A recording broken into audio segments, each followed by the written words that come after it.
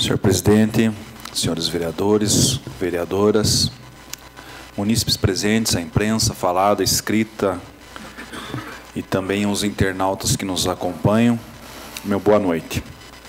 Agora, na palavra livre, também com o intuito de reforçar as palavras do vereador Valdeci Rático, a presença do seu Valdeci, que falou é, especificamente é, da saúde também tocou é, na falta de emprego, também foi um dos assuntos abordados, e que realmente fizemos, é, nós vereadores, graças ao fruto é, de economias, já fizemos o repasse de 800 mil reais ao Executivo Municipal e tivemos uma conversa né, com o prefeito Santim, onde foram destinados os 300 mil reais para a compra de um ônibus porque essas pessoas que vão a Curitiba, os tratamentos que não, não podem ser oferecidos aqui em União da Vitória, que hospitais não têm os equipamentos necessários para um, determinados atendimentos, somente em Curitiba,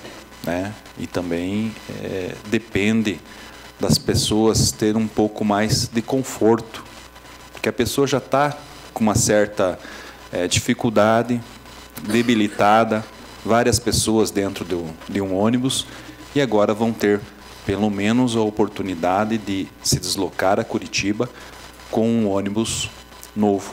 Né? Mais 400 mil reais para foi é, direcionado para que fosse atendido as consultas que estão há mais tempo na fila, consultas represadas, né?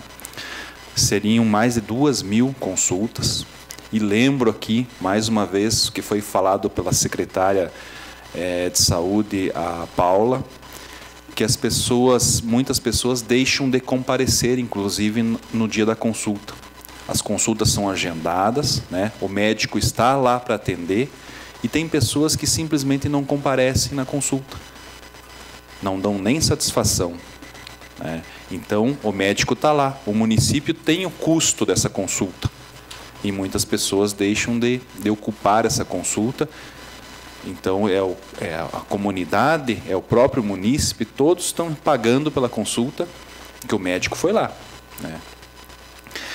É, e mais 100 mil reais que foi é, destinado a convênios diversos. Né? Falar aqui também é, que estivemos é, na terceira idade, uma, um evento comemorativo, onde teve o deputado chefe da Casa Civil Valdir Rossoni, também o deputado Hussein onde foi é, destinado, doado, uma, através de emenda do deputado Hussein, o valor de 335 mil reais para também para um ônibus da terceira idade, que faz suas viagens, confraternizações fora do município, né? e também um ônibus e vai ter uma condição bem especial, porque além da emenda de 335 mil reais, foi autorizado no dia do evento a se chegar até 390 mil reais com ônibus com ar condicionado, com toda é, o conforto. Às pessoas da terceira idade, pessoas que tanto contribuíram pelo município não da Vitória e que fazem suas viagens fora do município é, nos mais diversos eventos e na verdade para eles é uma oportunidade de, de estar tá se distraindo, de estar tá se confraternizando e faz muito bem à saúde é, do, do, das pessoas é, da terceira idade. Vou falar das quadras é, mini arenas, quadras de grama sintéticas, que vão se instalar uma na região é, dos conjuntos, uma na região do São Cristóvão, mais uma na região sul, quadras de grama sintética, onde a comunidade poderá fazer uso dessas quadras também emenda do deputado Hussen. É, quantas e quantas rodadas de, de, de, de, torneios, de campeonatos em nosso município são adiadas por, pela situação do mau tempo? E a quadra de grama sintéticas, manhã, tarde, noite, chova ou faça sol, é possível a prática do, do esporte. É, não só para o futebol, dentro de uma quadra dessa pode ser estendida uma rede de vôlei, a prática do voleibol, entre tantas outras modalidades que vão poder ser usadas. além de que temos uma, uma reivindicação pedido juntamente com o vereador Almires é, para também a implantação é, de uma quadra de grama sintética dentro do 27º Batalhão, onde tem um, vai, vai se promover um programa, uma escolinha de futebol é, para as crianças que têm algum, estão tendo algum problema, até uma situação de risco, né? É, uso de droga, problema na escola, vão ser absorvidas através de uma escolinha é, dentro do próprio pátio da Polícia Militar.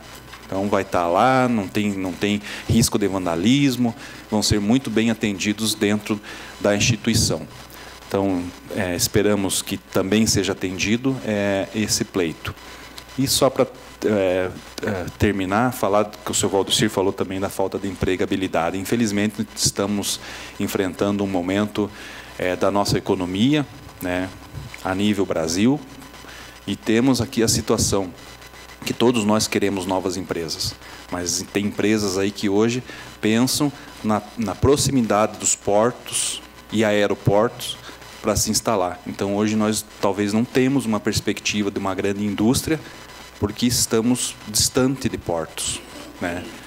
E o empresário quer estar sempre na sua empresa, questão do aeroporto. Então nós precisamos, hoje nós temos cursos técnicos, pessoas que se habilitando, mas precisamos da nossa economia melhorar para a empregabilidade de União da Vitória região também é, poder gerar mais empregos. Seria isso, obrigado e uma boa noite.